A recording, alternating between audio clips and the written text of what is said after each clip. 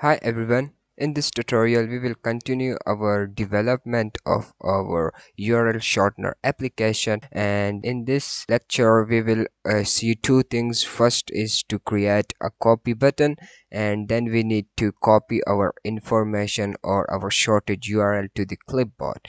So uh, let's start this process. And uh, first of all, I need to display this shorted URL on our uh, Streamlit web app. So just remove this print here, okay, and here I will use a markdown. So just write here st dot uh, mark markdown okay? And uh, sorry mark markdown and uh, I, this will be my formatted string because I need to place this uh, shorted URL okay? So just write here these uh, parentheses and write short the shorted URL and uh, I will say unsafe allow html to true because i will put this uh, url inside h6 heading. So just write here uh, h6 okay? And uh, here h6 as well h6 okay but uh, in this case we need to close it so put this uh, slash and uh, i will style this heading as well so just copy this okay line this line just copy it and uh, paste it right here okay and let's save it and now uh, let's rerun this application and just copy this url paste it right here just short it and yeah this is my shorted url okay? So it's very very cool. And now here i will say a heading like a shorted url and then i will have this url and beneath this url i will have a copy button. So let's do this process. So before this line i will say uh, st dot markdown okay? And uh, not a markdown i think here i will use title title and i will say uh, s-h-o-r-t-d shorted u-r-l okay and uh, I will make it capital as well as H O R T D shorted URL okay? And then I will create a button so st dot b u double t on button and here I will say c o p y copy and I will save the state of button as well and I will say c uh, c underscore btn maybe okay? Something like that but uh, I think uh, I will I do not need to save the state of this button in this case okay? Because uh, I will use the property of this button which is on click okay? And whenever user clicks on this button I need to process a function okay? So let's save it for now and uh, just rerun this application. Mm, so let's say paste the URL click on short and a shorted url and this is my shorted url and this is the copy button. I hope that these two things are not looking weird but i think i will make it smaller. Actually for me it's looking so weird. So just uh, convert this uh, title to maybe like uh, mark markdown okay? And uh, here i will use h3 uh, tag okay? So just right here h3 uh, and then close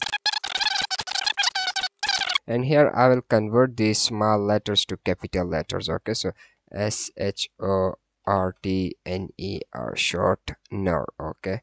Or maybe e here okay? Shortener and now let's save it. And now let's rerun this application and i hope that it will not look weird in this case. Let's paste it here just short it and yeah now i think uh, we have a cool output okay? So whenever user clicks on this copy button we need to copy the url okay? So just uh, right here uh, uh, property and that is on underscore click okay? And here we need to define a function. So above uh, this thing let's create a function. So right here def and then i will say c o p y i n g copying okay and here uh, I will also use an other library of Python and that is clip okay so it's a very weird name but yeah this is the library name. So let's open a new terminal. And uh, right here pip install install and then pypr and clip hit enter. And uh, as you can see requirement. Already satisfied. I have already installed it. So after installation of this library you need to restart your vs code again okay? And after restarting it you need to import this library. So right here import pyperclip okay? And now with the help of this pyperclip we will actually copy our information okay? So inside this function i will say by peer per clip pyperclip dot copy copy okay? And now here we need to write a text that we need to copy. And obviously in this case we need to copy this shorted url okay? So just to copy this name copy it and uh, paste it right here okay let's save it and now on the on click uh, i need to call this function copying okay? So here you will be thinking that okay so we are doing everything like this but we can do that process like this as well. Uh, if i save the state of the button inside this uh, variable and if i check that if uh, c underscore btn is true this means if user has clicked on this button then we need to copy it. So here let me mention you one thing that uh, whenever Uh, a uh, user clicks on buttons or radio buttons or any interactable widget in Streamlit, the Streamlit will start processing each and everything from the top, okay? And in this case whenever uh, our streamlit application comes to this part it will stop its processing because this is a form and here we need to click on this button on this form submit button before it executes it. So in this case our streamlit application will never reach this point and that's why the, uh, our application will not copy our shorted url to the clipboard. So in order to avoid this type of uh, error you need to use this on click uh, attribute or a property of this button. So this on click basically allow us to execute this function before streamlit run each and everything. So that's why i'm not saving the state of this button. I'm directly using the property of this button. And uh, this is how everything will work. So let's save it.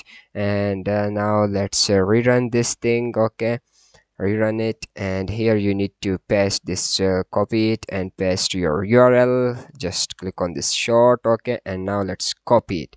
Copy it and okay everything has gone but we have successfully copied it so let's open a new tab. And now whenever i right click and whenever i paste it as you can see we have this tiny url okay? So we are successfully copying the shorted url using pyperclip module of python. So i hope that uh, you have enjoyed this tutorial and in the next tutorial we will see something new.